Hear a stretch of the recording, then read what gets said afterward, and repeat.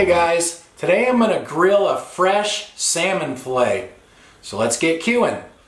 I have a nice piece of fresh king salmon that I bought at Andy's Produce Market right in front of my house. This probably came from Bodega Bay. That's about 20 minutes from here. So uh, it's probably where they caught this. This is 0.66 pounds, uh, 19.99 a pound. So it costs $13.19 for that piece of fish. So Hopefully I won't screw it up. Now fish tends to stick to the grill pretty bad, so I'm to coat it pretty well with some of this avocado oil to try to keep that from sticking to the grill.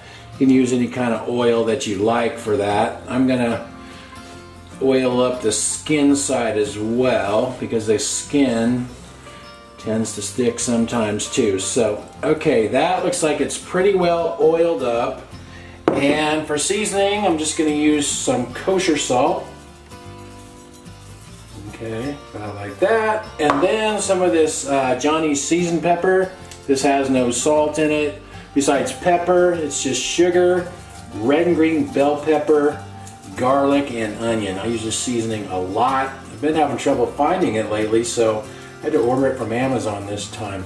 Okay, that looks pretty good. I'm not going to bother doing the skin side because I don't think that will really matter. So I'm going to go ahead and get my grill warmed up now. My grill has been preheating for about 10 or 15 minutes here, so it should be good and hot. I also wiped the grill grate with an oily paper towel as well. These are cast iron grates, so they get nice and hot, but they take a while to heat up. I'm going to start the fish cooking with the flesh side down and hopefully that won't stick. The fish has been on that side for a little over four minutes, so let's see how it looks here. I guess I'll attempt to turn it over now.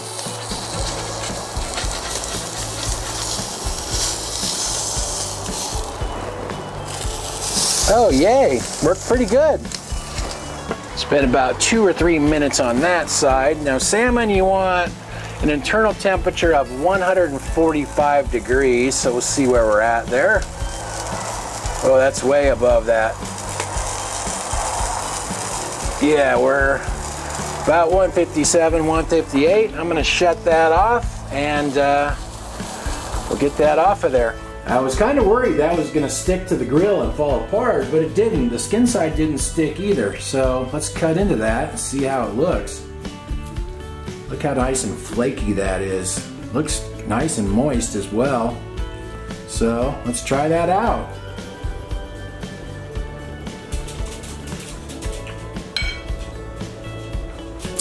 That turned out really, really good. I'm very happy with that.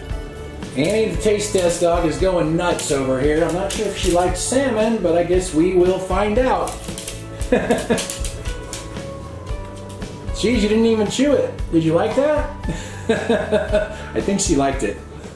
Well, that turned out really, really good. And it, it, cooked really fast, maybe four minutes on the first side and about two or three on the second side, just until the fish starts to flake apart.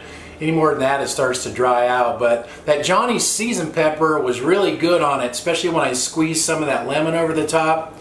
Anyway, I'll put the link to my Amazon store if anybody wants to order some. Thanks for watching. See you guys.